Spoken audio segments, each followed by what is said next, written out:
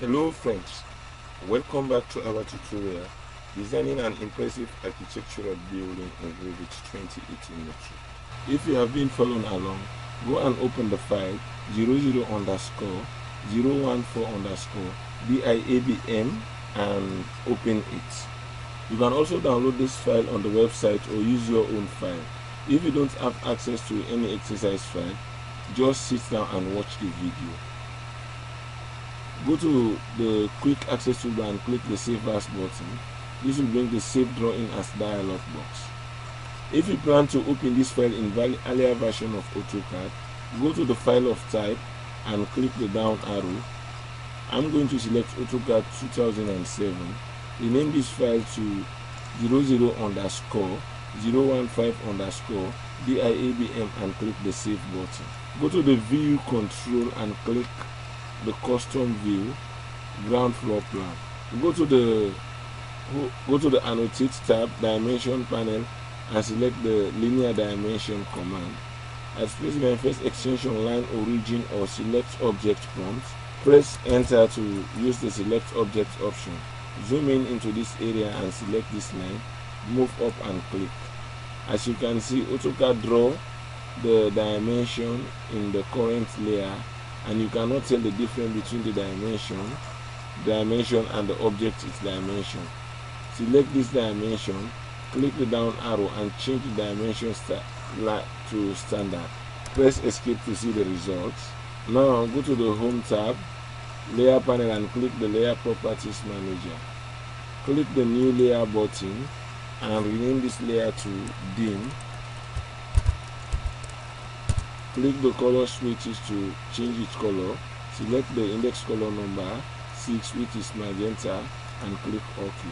Close the layer properties manager. Now click the down arrow and set the dim layer as the current layer. Select this dimension click the down arrow and move it to the dim layer. Press escape.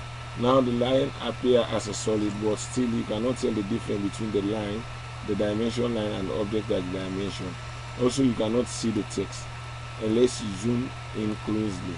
Then we have more precision that we, than we need. To avoid this problem, let's set our dimension. Zoom out, go to the annotate tab, dimension panel, click the dialog box launcher. This will bring the dimension style manager. Select the standard and click the modify button. This brings you to the Modify dimension style dialog box with the alternate unit tab current. Click the text tab and change the unit to 250 millimeter. Press the tab key and the text style leave it as it is. In the fill color section, click the down arrow and select the background color. But to have a, a better understanding of how the fill color work, I like to select the background option but in this case i'm going to select a color. That way you can understand exactly how the text will look. I'm going to select the yellow background. Then for the text color let's click the down arrow and select blue color. You can draw frame around the text but i'm going to uncheck this option. In the text placement section the vertical text click down on and select center. The horizontal text click down on and select center. The offset from dimension line click and type 12 millimeter press the tab key. And text placement select align with dimension line. Go to the arrows and symbol section you can click and select whatever arrow you want to select or use architectural tick. Let's select the architectural tick and go select click the line tab. For the line color click down arrow and select by layer. The line type leave it as it is line with leave it as it is. Extend beyond stick. Type 75 millimeter press enter baseline spacing type 750 press the tab key and in the extension line section change the color of the extension line to cyan. This way you have a better understanding how the lines look. For the extend beyond dimension line i'm going to select a bigger measurement to to so that you can understand exactly what this measurement does. Then later i bring it to the normal measurement that i want. I'm going to select 800 millimeter. Press the tab key. You see now i'm going to change it back to 75 millimeter. Press the tab key. Offset from origin.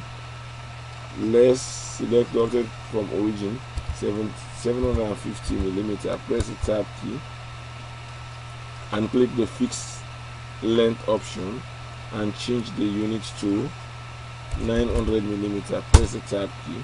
Click the fit tab. Either text or arrow fit best. Select both text and arrow button. Keep always keep text between in the text placement section. When text is not in the default place place it over dimension without a leader line. Click the primary unit tab click ok for the moment to see the result in the drawing area and select the standard set currents. Click close. Now the dimension is being updated. Now you see the result. Let's go to dimension again and edit the precision. Click modify. Go to the primary unit. Change the precision to zero. Click ok. Close. Press enter to open the dimension style manager. Modify and go to the text. In the fill color click down and select the background color. Click close click close. Now AutoCAD use the background to fill in this area. You can only tell at the moment that you are using a fill color because you are not see the grid through the text.